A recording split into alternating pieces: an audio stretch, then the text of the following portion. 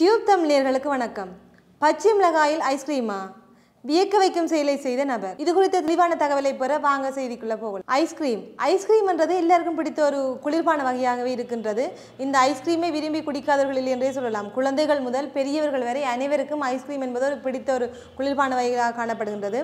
திருமண விழாக்கள் பிறந்தநாள் கொண்டாட்டங்கள் மற்றது ஏனைய சுபகாரியங்களிலும் கிரீமை குடிப்பது என்பது ஒரு சு- ஒரு விடயமாக தற்போது வந்துவிட்டது.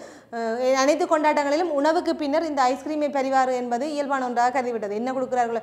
வெத்தலை பாக்கு வீடா கொடுப்பதைப் போல ஐஸ்கிரீம் கொடுப்பது என்பதும் ஒரு வளமையான விஷயமாக வந்துவிட்டது. இப்படியான நிலையில் இலங்கையில் வெலிகம என்ற பிரதேசத்தில் வாழும் ரூவன் என்பவர் தான் ஒரு சாதனை நிகழ்த்தியுள்ளார். அதாவது பச்சை மிளகாயை கொண்டு தன் ஐஸ்கிரீமை உற்பத்தி செய்திருக்கின்றார். எப்படி என்று சொன்னால் இரண்டு விதமான பச்சை மிளகாய்கள் சிவந்த இரண்டு விதமான பச்சை மிளகாய்களையும் மாட்டுப்பால் சீனி இந்த மூன்றையும் சேர்த்து இந்த ஐஸ்கிரீமை தயாரித்துள்ளார்.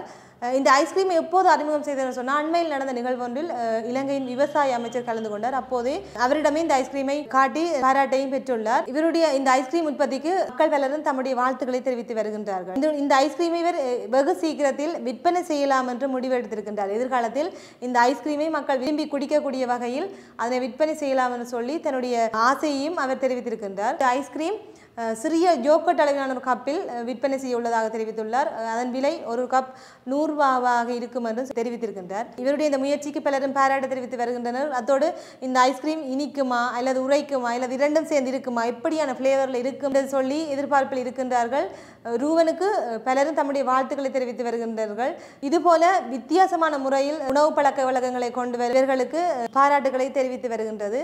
இதுபோல ரூவன் இன்னும் பல்வேறு விதமான வித்தியாசமான உணவுகளை தயாரிக்க வேண்டும் என்று சொல்லி மக்கள் தம்முடைய ஆசைகளை தெரிவித்து வருகின்றார்கள். அத்தோடு பலரும் பாராட்டுகளையும் தெரிவித்து வருகின்றார்கள். அந்த ஐஸ்கிரீமை விற்பனை செய்வதற்கான காப்புறுதியை விண்ணப்பித்திருக்கின்றார். அந்த காப்புறுதி கிடைத்தவுடன் அந்த ஐஸ்கிரீமை அவர் விற்பனை செய்வார் என்று எதிர்பார்க்கப்படுகின்றது. இந்த ஐஸ்கிரீமை குடிப்பதற்காக அனைவரும் ஆவலாக இருக்கின்றனர் என்பதும் குறிப்பிடத்தக்கது. இதுபோன்ற இன்னும் ஒரு சுவாரஸ்யமான தகவலுடன் மீண்டும் சந்திக்கின்றேன்.